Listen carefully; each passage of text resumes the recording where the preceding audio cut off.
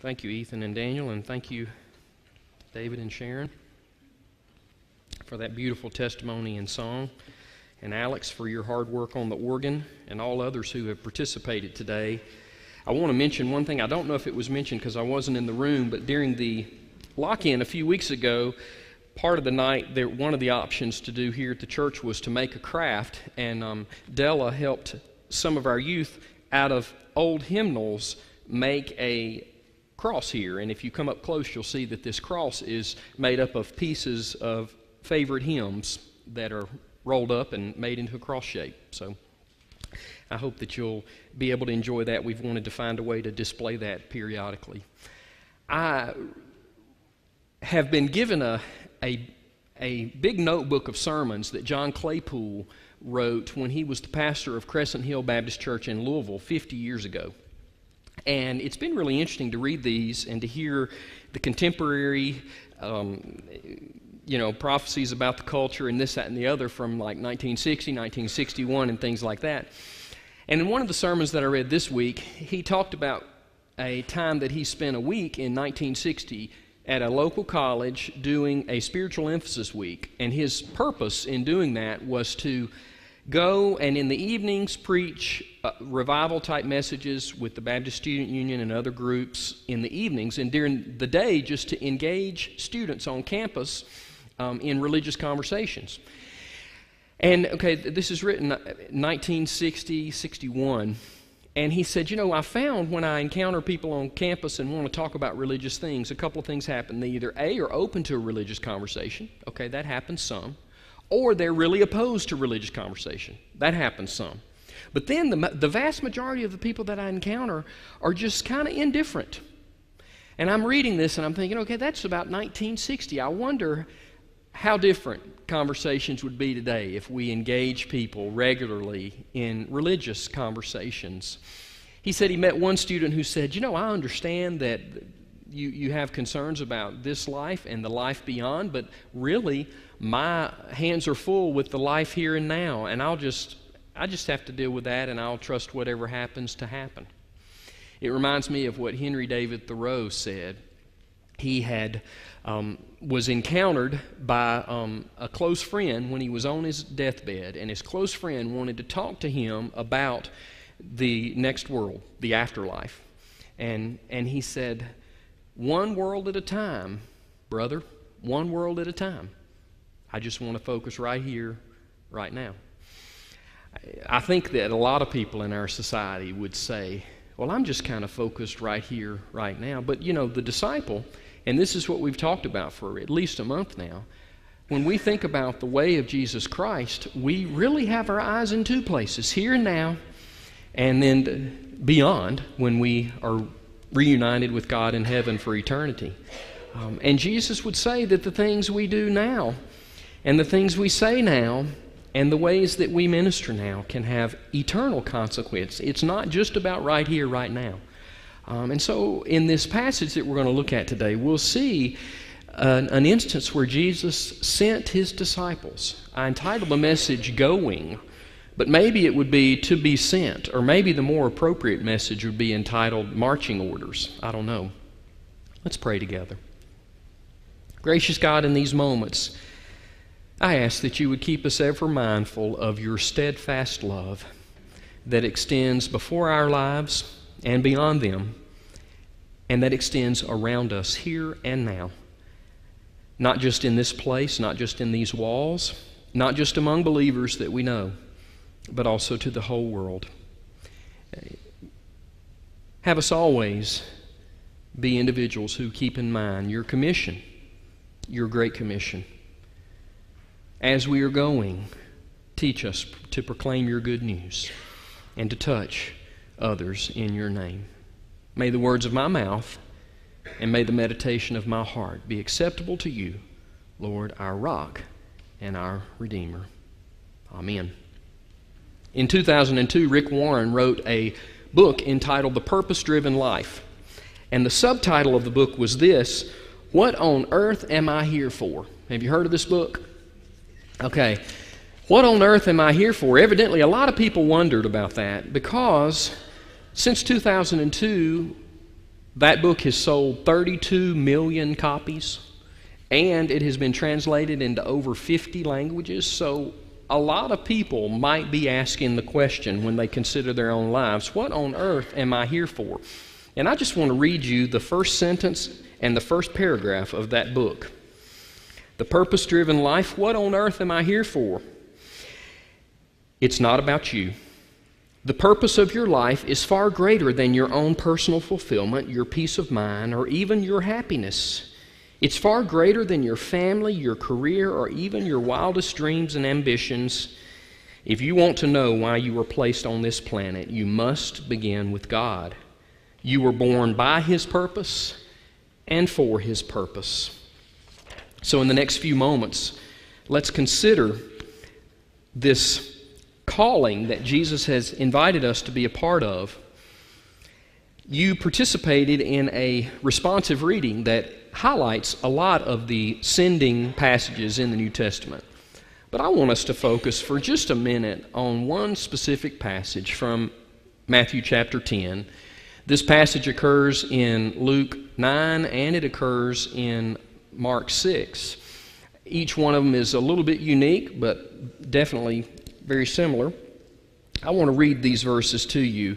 When Jesus called his disciples around him, and he kind of huddled them and said, Here's what we're going to do. Here's where we're going to go. Here's what I need out of you. This is your part that you can play. Chapter 10 of Matthew, verse 5, I'll read verses 5 through 15. These 12 Jesus sent out with the following instructions Go nowhere among the Gentiles, and enter no town of the Samaritans, but go rather to the lost sheep of the house of Israel. As you go, proclaim the good news. The kingdom of heaven has come near. Cure the sick, raise the dead, cleanse the lepers, cast out demons. You receive without payment, give without payment. Take no gold or silver or copper in your belts, no bag for your journey, or two tunics, or sandals, or a staff, for laborers deserve their food. Whatever town or village you enter, find out who in it is worthy and stay there until you leave. As you enter the house, greet it. If the house is worthy, let your peace come upon it. But if it is not worthy, let your peace return to you. If anyone will not welcome you or listen to your words, shake off the dust from your feet as you leave that house or town. Truly, I tell you, it will be more tolerable for the land of Sodom and Gomorrah on the day of judgment than for that town. And then I'll just add verse 16 just to keep us humble.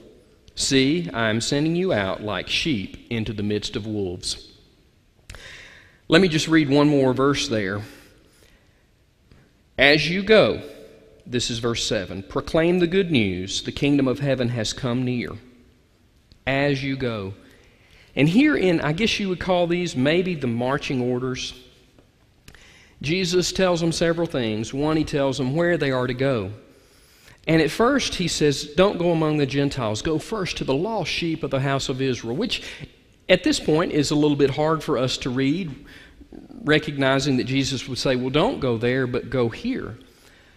But I want to just kind of remind you that Jesus looked out at Israel and viewed them um, as sheep who were lost from their shepherd. And, and here we are reminded that Jesus had not forgotten that they had wandered, and he was committed to reaching out to Israel. You know, the, the mission to the Gentiles would come later, and it wouldn't exclude the Jews. Um, it came out of necessity because he remembered that, that God had chosen Israel and wanted to bless them so that they could bless the whole world. And, and Jesus was still very committed to them. And so Jesus told them where they're to go. Um, Jesus told them um, what they were to do. He said, As you go, proclaim the good news. As you go, proclaim the good news. And then he told them what they were to carry. What they were to carry. And I wonder, as we read what he told them to carry, I've, I've often thought, okay, he said you will encounter people who are sick, like the leopards. You'll touch the blind. You'll see the lame. You're to proclaim the good news. You're going to be taken in front of synagogues. You're going to need to cast out demons. And so here's what I need you to do. Here's what I need you to carry. He doesn't say, um, Step one when you encounter a person who is lame, do this. He doesn't say step one when you touch the blind, step one when you cast out a demon. He says, don't carry a lot of luggage. Don't carry extra clothes. Don't carry extra shoes. Don't carry a staff. Go from place to place depending on others. Isn't that interesting? Here they're going out on a mission, and he is more concerned about telling them what they are to leave behind. And I recognize that really Jesus is teaching them to depend upon God, their Heavenly Father. This is not about you, this is about God. An individual was invited to a church with his friend. He decided to go, and they came to a worship service, and this individual was really stunned. He had seen this big old building, and all of a sudden he goes into this worship service, and there are hundreds and hundreds of people, and this church is just so dynamic and so loving and so engaged, not only with people in the room, but evidently with the community too. And he asked his friend, he said, Wow, this church just feels to be so alive. And he said, You know, you should have been here 20 years ago. When I was here 20 years ago, there were less than 50 senior adults. And I would have guessed that there is no way in 20 years these doors would be open. But all of a sudden, then our pastor and some of our leaders said, Let's focus on God for a minute. And we started seriously studying the scriptures. And you know, since then, our pastor has been able to translate the Bible into seven words. And he said, Oh, what, what, what, are those seven words? God is God, and we are not. God is God, and we are not. And that church began focusing on the Lord and offering Him praises and they chose to begin a mission of service. They chose to be servants. Now, you can choose to serve, right? Richard Foster kind of says it this way in Celebration of Discipline, a book that I've shared with you several times on the past few weeks. You can choose to serve, or you can commit to being a servant. When you choose to serve, here's what happens you, you choose to serve, and it means you can choose when not to serve, right? And if you choose to serve, you can choose who to serve, and you can choose who not to serve. You can choose where to serve, and you can choose where not to serve. But if you commit to being a servant, then what do you do? You walk through life with your ears up, your antenna raised, and you carry God to places of need because you are committed to being a servant. You know, when you, when you choose to serve, it can be a, about you. Like, I really need to feel good about myself, so I'm going to help. When you choose to serve, you know, it can be temporary. When you choose to serve, you can kind of stop when it gets hard. But when you commit to being a servant, all of a sudden you communicate the Lord's love. When you commit to being a servant, all of a sudden, all of a sudden you unite people. All of a sudden you notice where the Lord's ministry is needed, and all of a sudden you are willing, willing to go. And so here we see that Jesus advised them what not to carry so that they would go empty handed, depending only on the Lord for His strength and for His guidance and for His nurture and for His provision. A lot of individuals in this church give sacrificially to the ministries of, of this place. Many of you give to this place, and you have other ministries you give to. Um, just as an aside, one smart thing to always do when considering supporting a ministry is to observe how the CEO or the chief minister travels. If they're traveling first class, run. Because that's not the way Jesus describes how we are to go. Dependent, upon him for guidance and for strength. In Matthew's version of this sending, we're told who the disciples that Jesus called were. And we're given their names. And you know, several of them we know something about them. And I've often thought, gosh, surely to goodness the Lord could, could find somebody else to do what I sense that maybe He's calling me to do. There's somebody else who is more capable, there's somebody else who is more mature or more gifted. And then we read these verses about these disciples that he had called around him, people like Simon, who were good at putting their foot in their mouth, people who were good at diving into ankle deep water, who were good until the heat got turned up. And he was called as a close disciple. And his younger brother Andrew, who probably was in the shadow of his big mouth brother Peter, Simon, the, his whole life. And who else was there? James and John. They're called sons of thunder it implies that they have this horrible temper. Maybe they got their dander up before they allowed the reason to catch up with it. You know who they were. They argued about who's going to be first in the kingdom. And Jesus said, I want you to go. There were other disciples around, tax collectors, who were known for taking a little bit for Caesar and a little bit for themselves. There was a zealot who was a political fanatic. And you know, Simon the Zealot, we don't know if he would be called conservative or liberal, but here's what a zealot was. We don't, we don't know which end of the spectrum he was on, but he felt like the cure for the nation's problem was going to be answered politically. And Jesus called him. We look at others that are there, individuals that we never hear of again. And then people like Judas, who would sell Jesus out for 30 pieces of silver those are the ones that Jesus intended to carry the message to the world. And so if you ever are in the point where you are in the place where you feel like, gosh, is the Lord really calling me? Look at those first ones that He called. It's not about your ability and your strength and your capability and what you've accomplished or your pedigree. It's about the Lord in whose name you go. Now, it wouldn't be fitting for me to preach on Super Bowl Sunday, a huge football fan like I am, without telling some Super Bowl story, right? It isn't the point, though.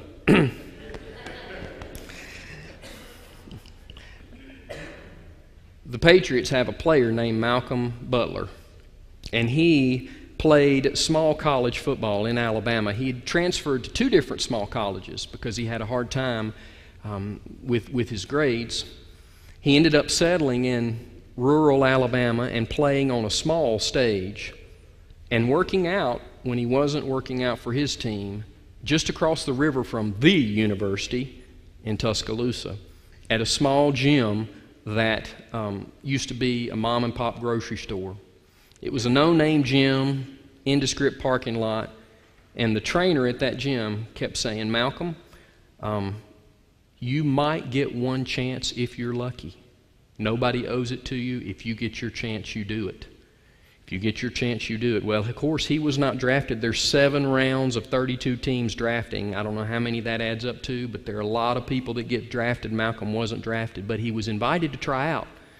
And he spent months working out in this no place gym across the water from Tuscaloosa. And um, lo and behold, he would show up late for workouts, and ironically, his trainer would say, You know, if you played for Bill Belichick, he'd cut you.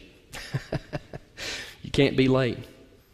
Well, Malcolm Butler ended up getting a tryout with the Patriots, ended up walking on there and playing, not walking on, but ended up playing for the league minimum. And two years ago in the Super Bowl, he made an interception that allowed them to win. Now, I'm not pulling for the Patriots tonight, and I'm not encouraging you to either. I'm not, you know. But after he made it big, multi millions, um, he still goes back to that nowhere gym so that he can be reminded of how hard he needs to work, how hard it was to get there. You know, now he's got the millions. He dreamed of guarding somebody like Julio Jones, who played for the university. And guess what? Tonight he'll get to. You know, you I know each of you, many of you, have heard God's call in your life go. As you go, proclaim the good news. As you go, tell, share. And at one time, perhaps there was this fire and you felt this, this urging and this commitment. And maybe today you, you've relaxed just a little bit.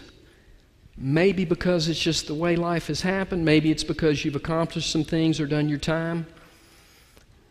But I was encouraged this week when I read about this star who goes back to the beginning to remember how important this really is. Maybe today that's what you need to hear. Maybe today you need to put yourself in the place of one of those disciples who has been told to go, and as you go, proclaim the good news, and as you do, touch people and heal people in Jesus' name. You know, it is truly a privilege to be among the disciples of Jesus Christ. And these words that were spoken then are spoken now. And, and you've, you've heard them before. Today, will we hear them seriously again, deep in our hearts? Jesus' name needs to go outside of these walls, outside of our families all through the community, all through the state and the nation and the world. And you know what? Jesus looks out at people like you and people like me and says, As you go, as you go, proclaim that good news. Let's pray. Gracious Lord,